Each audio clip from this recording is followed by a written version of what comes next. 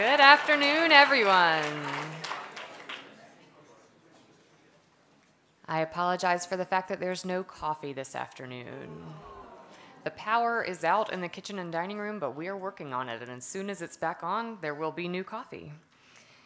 If you were not able to meet with Renee Zuckerbrot or go to Monteagle this afternoon because you are in workshop, never fear. We will repeat both of those things tomorrow. Renee Zuckerbrot's meetings are posted on the wall back there. Please do check the sheet and see if you have a meeting with her. The Monteagle run will leave at 1:15 tomorrow from the front of the inn. Tonight we will have the graveyard walk following the 8:15 reading. You'll leave straight from here. You may also join the poker game after the graveyard walk. If you're interested in playing poker and not walking the graveyard, I guess the best thing to do is go to the lodge where the poker game will happen, which is on the corner of Georgia and Mississippi down by our dorms, and wait for them to arrive. They'll be in the graveyard directly across the street so you can watch the torches walk out and back in, in and back out. A reminder that the address lists are out at the inn. Please check to make sure that your address is correct. If it is, please initial. If it's not, please correct it. Also, the lost and found is on that same mail table. If you find anything that doesn't belong to you, please leave it there and hopefully the owner will find it. Mary Flinn forgot to mention that any conferee who would like to submit to Blackbird can submit out of cycle. So on the submission software, just make a note that says, I attended the conference this summer, and she would be happy to read your poetry. And now, please welcome. Whoa! What do you do if your address just isn't there? I mean, I don't think this is a bad thing necessarily. If your address isn't there and you would like for it to be there, please write it in. If your address is there and you would like for it not to be there, please cross it out. Will that work? All right. Steve wants everybody to write him a letter. Please welcome Adrianne Harun.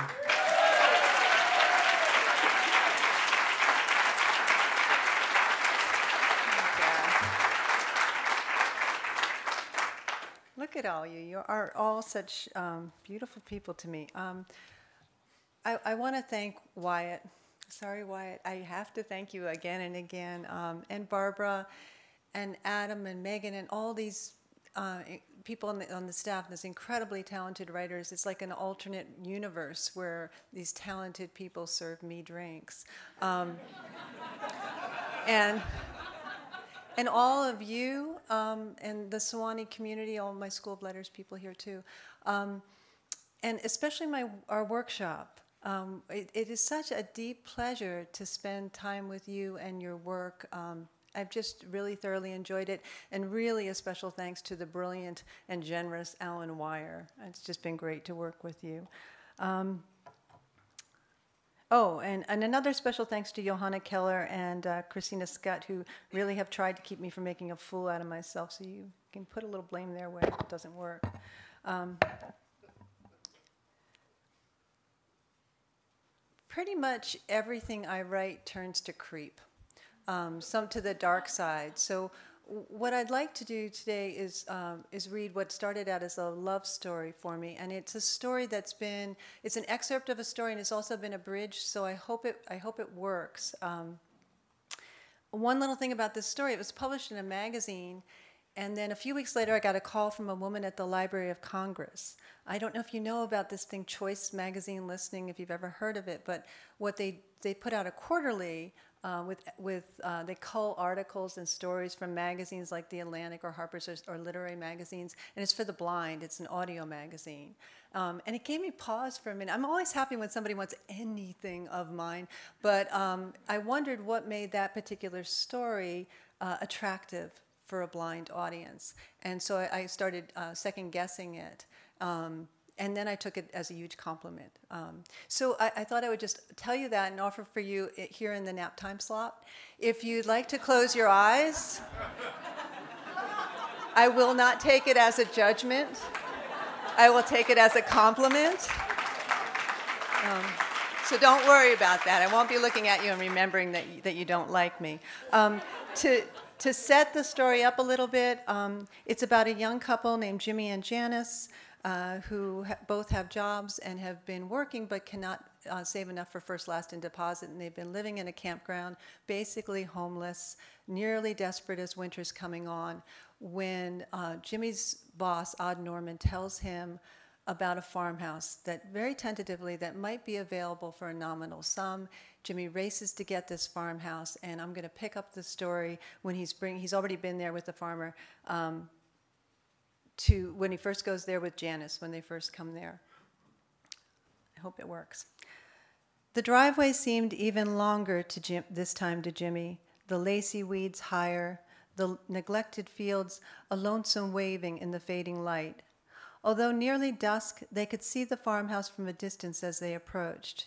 Jimmy pointed out the silhouette of the orchard on the hill, the copse of ash and beech trees behind the house, the slanting timbered barn, and the ruined stone foundation of another barn the farmer said had burned down a long time ago when God was a teenager.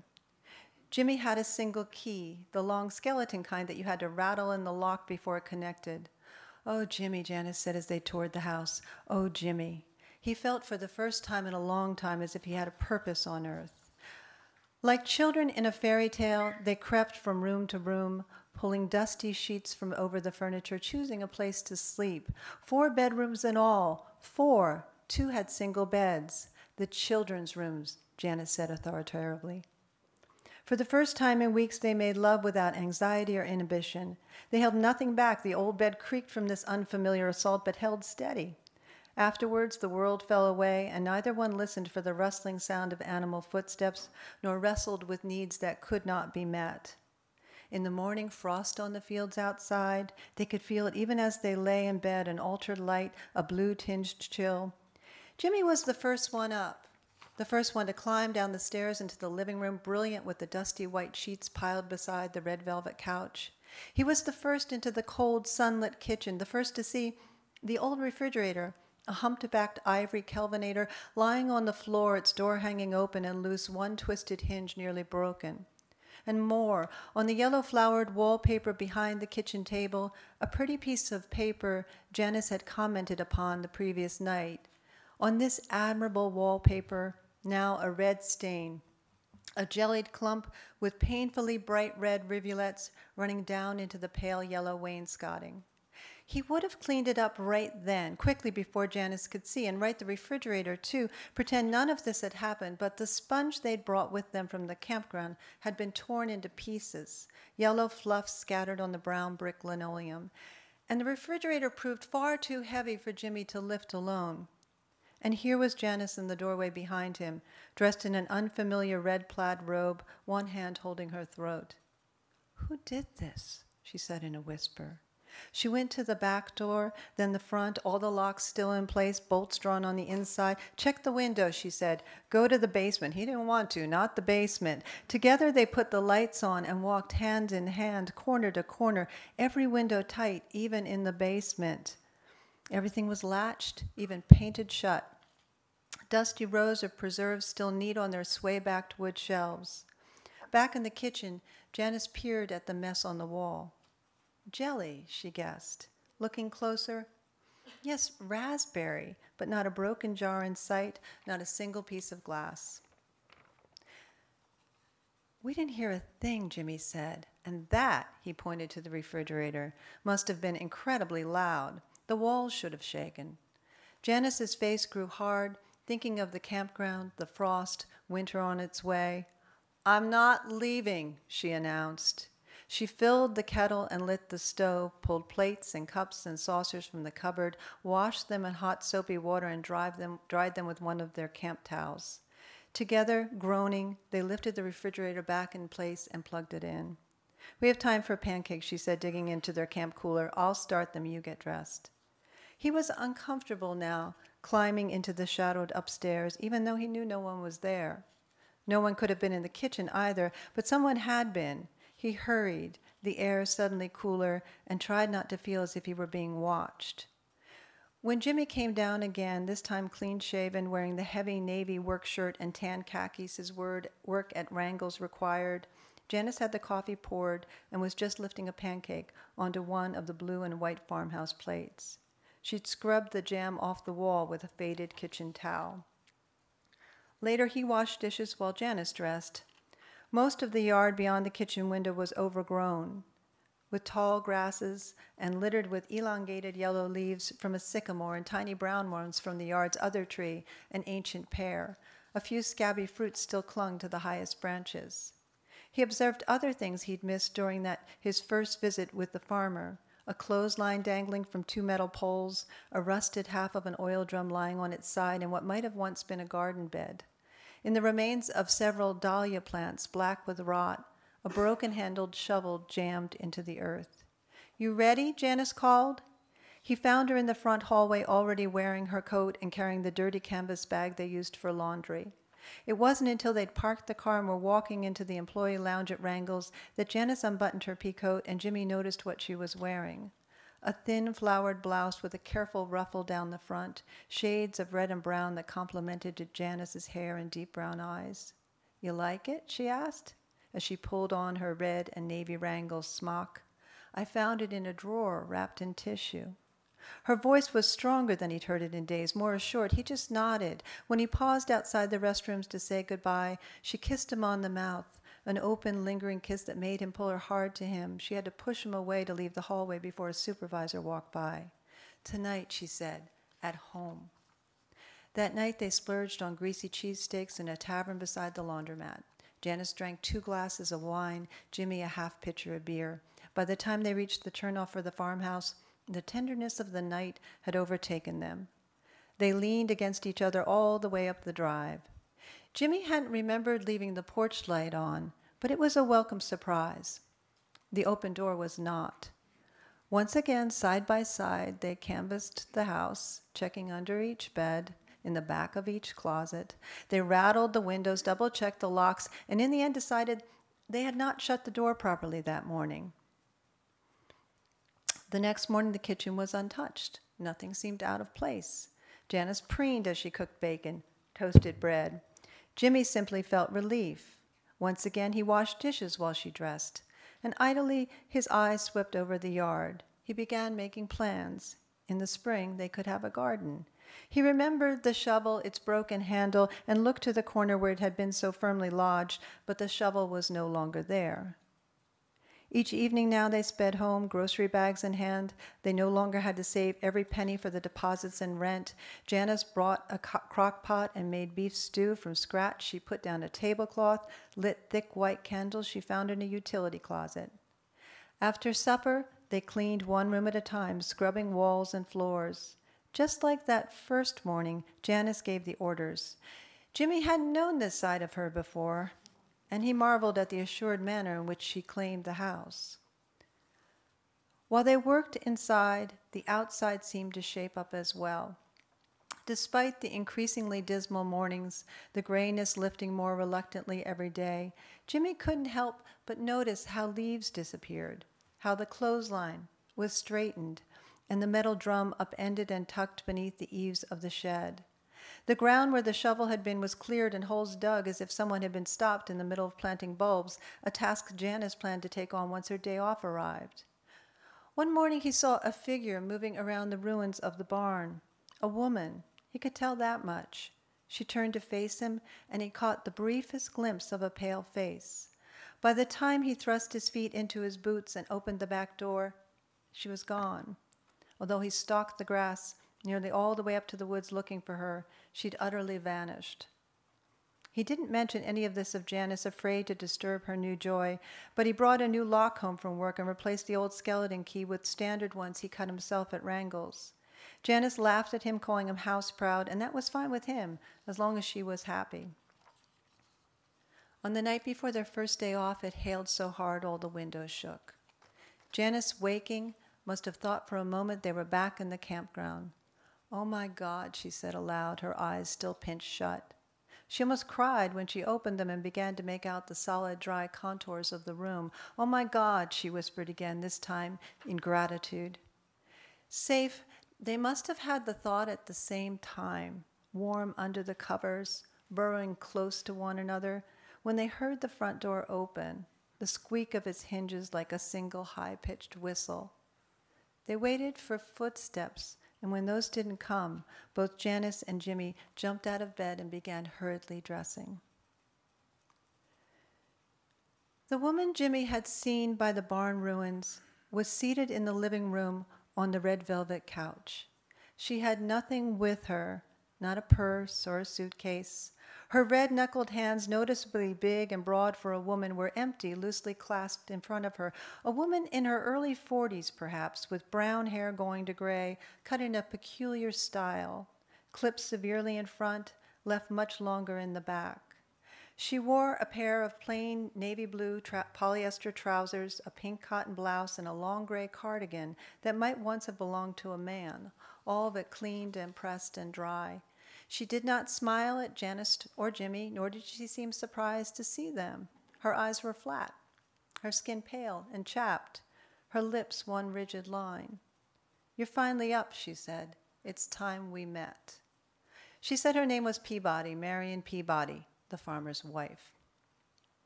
Jimmy was glad Janice was in her own jeans and turtleneck for a change. He began to introduce himself and Janice, but Janice interrupted. You can't just walk in here, you know, she said, tilting her chin. We pay rent. Marion Peabody shrugged her off. A tiny, inadequate sum, I'm sure. He didn't ask for more.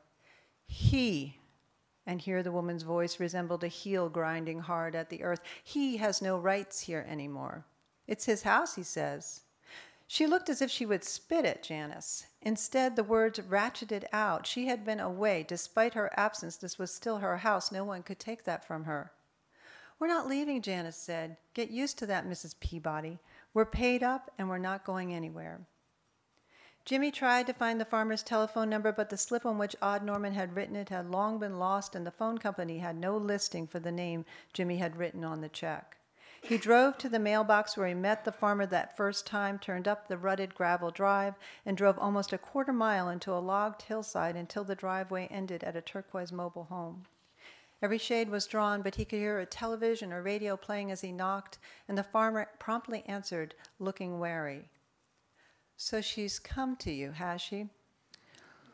Like I said, you keep me out of this. You want to pay me less rent, you go ahead. I'm not coming to collect. I'd as soon see the place disappear than fight for it with her. Been away? Is that what she tells you? She says the farm is hers? Ask her who's still paying the tax on it. Ask her no better yet. Clear out while you can. Clear out. We just moved in. Word to the wise, he told Jimmy with a mean smile. Get yourself a big old dog. She hates him. You get a good, fierce one, he'll chase her right into the night, and you can just lock up tight behind her, listen to the wind come up, and know it's only taking her farther away, like a little bit of trash dumped on the property line. Jimmy was beyond despair. Couldn't imagine where they'd go. There was a shelter in Roslyn, the next town over. Janice would die. No, they'd sell the car first, get new jobs, walk to work. His chest contracted. He could hardly get a breath. Oh, baby, he whispered. Oh, Janice, baby, I am so sorry. But when he arrived back at the farmhouse, Janice didn't even grill him about the farmer's response. She and Mrs. Peabody were in the kitchen drinking coffee from pink flowered cups. Marion's going to stay, she told Jimmy. and we are too. Later, as they drove to town alone, she told him that Marion had no place else to go. If she couldn't stay there, she'd have to sleep in the fields. She'd be homeless, Jimmy Janice declared. Her family wouldn't talk to her. No one around here would give her a job. Her husband, the farmer, never sent her a dime. She had nothing, nothing to live on. But of course, she owned a house, their house. At first, sharing was not a hardship, and on the surface, their lives went on normally. Jimmy and Janice, Janice rattled down the driveway in the bluish haze of morning and returned to a dim yellow light in an upstairs window. Marion had claimed one of the front bedrooms, and the door was always locked, and Janice checked, locked. I mean, shut, and all, Janice checked, locked. Sometimes, as they entered the house, they heard the indistinct melodies of a transistor radio. Other times, Marion's own voice, and even incantation that went on for hours. Praying, Jimmy guessed. For us to leave, Janice smirked. Fat chance. They picked up items from the drugstore for Marion when she asked aspirin, baby powder, a pair of hair cutting scissors she used to give herself a new, softer haircut that compelled Jimmy and Janice to reassess her age. She might not be that much older than they were, they reckoned. This awareness made them both a little uncomfortable, as if they couldn't trust their own eyes, as if she'd lost years in the brief time she'd spent with them. Occasionally, she requested something from a specialty shop a bottle of sherry, a ball of rose tweed wool. She didn't seem to possess a single cent. At least she never offered to pay for anything, and Janice, toting up their expenses, suggested to Jimmy they stop paying the farmer altogether, since he had apparently decided to forego his own responsibility. Jimmy thought she meant they should pay Marion. What? Janice said, Are you kidding? When she's living here with us? A whole month went by, then another, rain and sleet, the first whispers of snow, and no one arrived to protest the missing rent. Under the unexpected weight of an ice storm, limbs from the pear tree cracked and fell, and someone, Marion apparently, dragged the branches behind the shed and sawed them into firewood. Marion didn't seem to mind the cold. In fact, her interest clearly lay outside. From the kitchen window, Jimmy saw her emerge from the old barn, empty except for a few rusty kid bicycles and a broken wagon. He tracked her from the window as she wandered through the stubbled, icy field, wearing her usual outfit topped only by that thin gray sweater. As he spied from the window, Marion gazed intently toward the woods and raised a hand as if she were greeting someone. But when he looked with her, the woods were still and empty, and the sky remained the dull charcoal of a winter dusk, patches of snow sunk into the ditch by the driveway. He could hear Janice in the upstairs hall cranking up the thermostat, and he shivered at the thought of Marion in her ragged sweater. For the first time, he rummaged in the back of the hall closet, emerging with a heavy wool jacket, brown plaid. Coatless himself, he carried the jacket out into the dim field, turning in circles as he looked for Marion, who was right beside him. You'll catch your death, Jimmy said, shocked as much by the chiding tone in his voice as by the delicate feel of the woman's shoulders when he draped the jacket around her, by the surprising pure blue of her eyes. Well, hello, Jimmy, she said, as if she just noticed his existence. After that, the brown plaid jacket took up residence on the coat rack on the, by the kitchen door, its absence signaling Marion's as well, and Jimmy found himself continually checking the hooks, then scanning the white fields below the purple sky, sighting her the way another man might look for deer out of season, starved and feeble and ready. She was the easiest of housemates, a mere cipher on the edge of their existence, and yet it wasn't long before a battle began. Every day, a new insult, a fresh intrusion arrived to irritate Janice. Marion left dishes in the sink. Janice washed a dish if she liked the pattern. Otherwise, she plucked it from the sink and deposited it straight into the garbage. Mouse droppings were discovered in the cupboards. Janice set traps between the saucepans baited with peanut butter. Marion scattered breadcrumbs in their bedroom closet. Jimmy found himself standing inside the open closet door, breathing in the comforting aroma of freshly baked bread. He had to force himself to whisk up the crumbs before Janice discovered them. Then came the cough. Marion developed an insistent, baneful bark that could not be calmed by Janice's offer of tea or lozenges or a good thwack on the back. See a doctor, Janice told her. We'll drive you. Oh, listen to her. Listen to her, Janice told him. Could a cough be more fake? There were times when Jimmy longed for a straight haunting like their first night, plates crashing against the walls, furniture moving, all of it unexplained. The reality of Marion worried him far more than any ghost could have. The way she never got angry at Janice, just stared at her blankly like one of those old ladies at the nursing home where his grandmother had served out her last blind, baffled days the way she stalked the periphery of the old barn ruins, her head bobbing up and down as if she were in conversation. The way her fingers brushed lightly against his own when they passed plates at the table, causing a confusing heat to swirl deep in his belly. And there were other times when he held Janice in his arms and felt the thin blades of Marion's shoulder. When Janice, wearing her pilfered blouse, swept into the Wrangles employee lounge and the fierce, musty scent of Marion filled the air between them. When wool gathering at the kitchen window, he thought he heard the whisper of his name and lumbered toward the back door to find Marion already at the stoop, one reddened hand reaching for the metal doorknob. At those moments, he felt as if he recognized her, and he was glad she was near. Despite Janice's skepticism, he believed in Marion. She'd lost weight, revealing a fragility that pierced Jimmy, that made him want to gather her up and tend to her. But when Jimmy grew awkward making love with Marion just down the hall, her coughing, making her present in a way she hadn't been before, Janice grew angry. Don't you let her stop us, she whispered. It's our house, she said to Jimmy in a voice that no longer whispered. We can do whatever the hell we please. Neither of them said a word when moments later doors began slamming all over the house, a grander version of Marion's cough. One evening, when Janice was unexpectedly stuck with an overtime shift, Jimmy drove home alone to pick up their laundry. As usual, the house appeared blank and deserted, save for the light in Marion's window. As he crept along the upstairs hall trying to be quiet, he was surprised to see her bedroom door open. He could hear her struggling to suppress that itchy cough, and thought too he heard her call to him as he passed. In the dim golden light of her bedside lamp, he could barely make out Marion's figure sitting on the edge of the bed, her back to the door. An overwhelmingly pungent scent caused him to stumble as he crossed the threshold. At the sound, Marion pulled back, and the light her body had blocked spilled over her. He could see now that her back and shoulders were bare, she held the edge of the bed sheet against the front of her body. Beside her on the bed was a jar of eucalyptus liniment Janice had bought for her own sore muscles when they were still sleeping in the campground.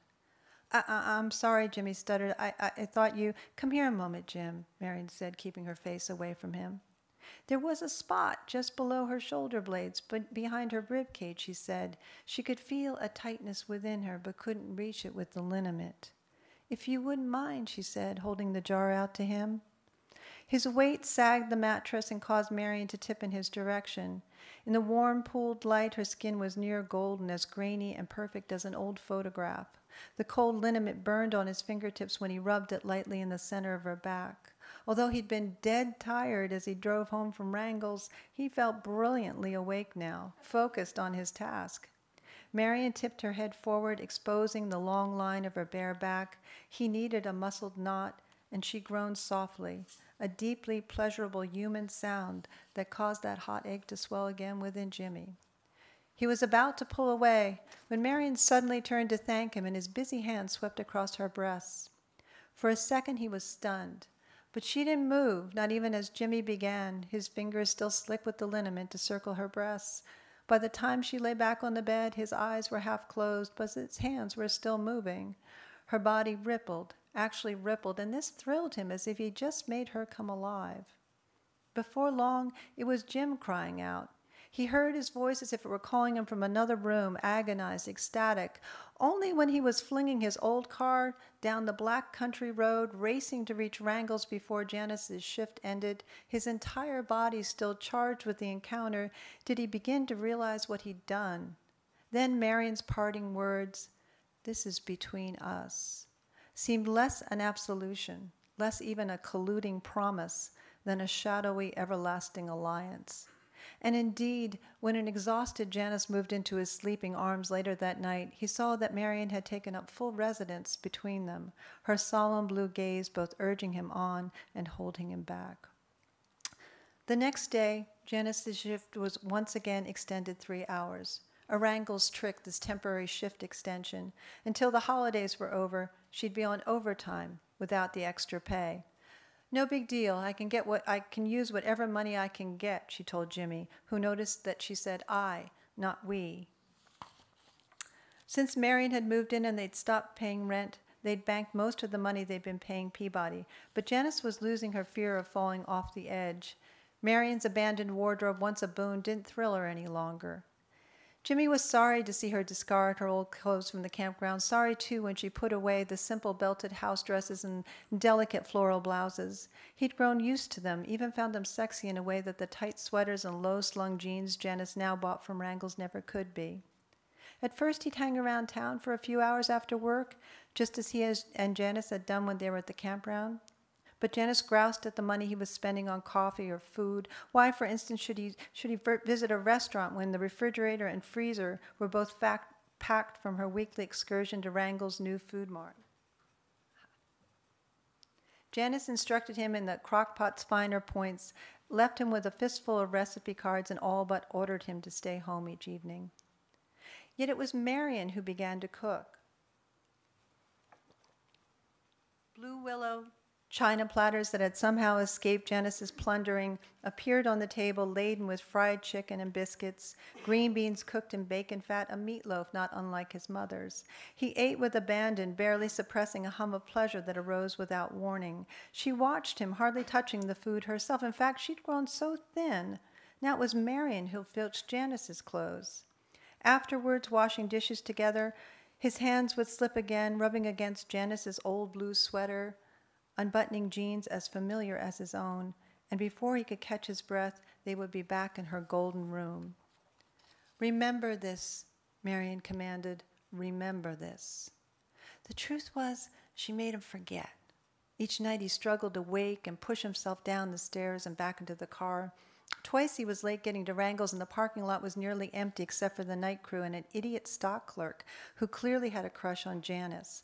Wally, red-headed Wally, Wally the weightlifting gossip, who wandered from department to department with his price gun and cart spreading rumors of his own devising.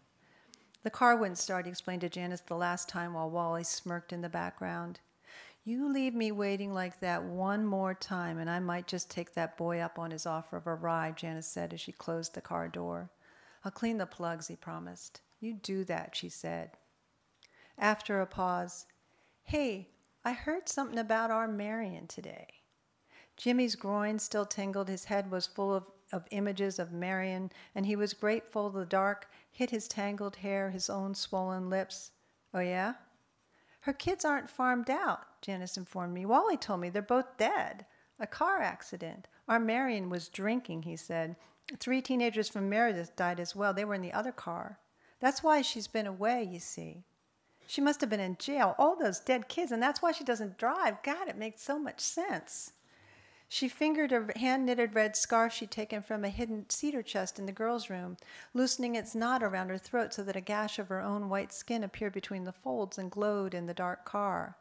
Wally, Jimmy spat. Not just Wally. Carol in Housewares told me the same story. Her nephew was in scouts with Marion's boy. But here's something funny. Wally swears Marion poisoned herself before the trial with arsenic that the farmer kept in the old barn. What an ass. Jimmy's hand shook on the steering wheel. Wally says she smuggled it into her food. He said it took her days to die. Well, he mixed up Peabody's story, didn't he? Obviously, but Wally, mention his name one more time and I'll drive off the road, Jimmy declared. Well, what's wrong with you? That night, for the first time, Jimmy slept downstairs alone, his heart thrumming with the loss Janice had tried to hand him. She revived him, she exhausted him, she brought him to life, she slayed him. At work, he was clumsy, a dumb smile plastered on his face, the kind of smile Janice once said made him look like a cat with buttered whiskers. He drifted off in conversations, licking his butter, the almost physical memory of her touch.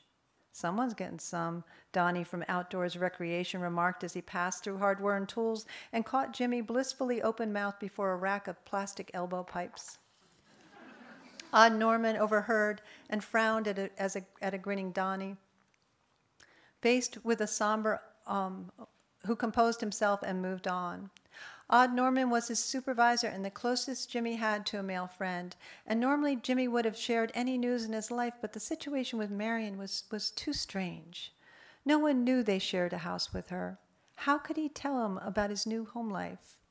And yet, like any besotted lover, his whole being sang with the desire to hear her name, to casually throw out, Marion says, Marion told me, Marion, Marion, Marion. But of course he couldn't. He couldn't. Could he? Marion Peabody, you say? Odd Norman glanced at him, the dimpled lines in his handsome long face emphasized by his concern. I knew her as a girl, quiet kid, a real sweetheart, the kind of kid who brought frosted cupcakes to school on other people's birthdays. She deserved better. She would have been the best of wives to the right man, you know, a real homemaker. Jimmy grinned and nodded. He began to explain their situation. Janice, he emphasized it was Janice inviting Marion to live with them. He flushed red, but he couldn't stop himself. He had to share. One night, he began, when Janice was at work, A customer wandered up the aisle talking, as customers usually did, over Odd Norman's head to Jimmy, who immediately deferred the question to the dwarf, um, the man's question to the dwarf. Odd Norman pursed his lips as he led the man away from Jimmy toward the socket wrenches. Only much later, as Jimmy was clocking out, did Odd Norman catch up to him again, tapping Jimmy on the hip. Not Marion Peabody, Odd Norman told him. Jim, you must be wrong about that. She has such pretty eyes, he told Odd Norman. You'd never guess it. Can I come see her? Sure, Jimmy said. He didn't want Odd Norman at the farmhouse, didn't want him to see Marion. Most of all, he didn't want to lose his evening alone with her. How about Thursday? Thursday was Janice's day off. Tonight, Jim. I'd like to come tonight. Oh, oh, sure, Jimmy said, fuming. Any time. They were still at the table when Odd Norman drove up in his ticking Volkswagen, Jimmy savoring a wedge of warm pear pie. She heard Norman long before he did, and by the time the headlights swept across the front porch, she'd fled upstairs. Jimmy could hear the door close, the lock snapping into place. He had to smile. If she wasn't around, Norman wouldn't stay long. But Odd Norman would take, wouldn't take any of Jimmy's excuses. He reached for the banister and mounted the stairs, Jim on his heels, paused in the hallway and called out, Marion, Marion, it, it's, it's Norm Keskey. Are you here, Marion? You remember me, don't you? Honey, I want to talk to you. To Jimmy's great surprise, Marion's door swung open. Odd Norman took a step back. He gazed upwards. A range of expressions crossed his face joy, awe, sorrow. Oh, Marion, he said, it is you. From where he stood, Jimmy couldn't see Marion at all. Odd Norman had one of her hands in his own, and because she was so much taller, the little manager appeared to be on his knees, his face upturned, shining. You know you can't stay, don't you, sweetheart? You know this isn't your home anymore. You don't think I deserve this? she said. It's not yours, Norman said. He nodded towards Jimmy. He's not yours. They're gone, Marion. It's over now. A series of crashes began as if every ordinary article Marion had collected during her stay, the band aid tin, a black pot of shoe polish, was being hurled at the walls. You have to go now, Marion. Leave. Hey, Jimmy objected, but no one seemed to hear him. A rhythmic shushing sound began as Norman spoke. Jimmy did not recognize it as weeping until Norman bent to kiss her hand and said goodbye, leading Jimmy down the stairs and out the front door with him. He'd never even removed his jacket or the peaked blue hat he wore. Jim, he began. What the hell do you think you're doing, Norman? Jimmy demanded. But he didn't wait for an answer. He slammed the car door odd Norman held open and stood there, his arm folded across his, his arms folded across his chest, until Norman shook his head and finally started his car.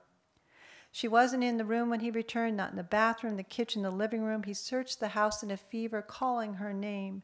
He thought about calling for his dogs, dogs he didn't own, great black hounds with red rimmed jaws and wild eyes who would run through the house, a mad gallop that would shake the walls and unfasten the doors from their hinges and chase Marion back into his arms.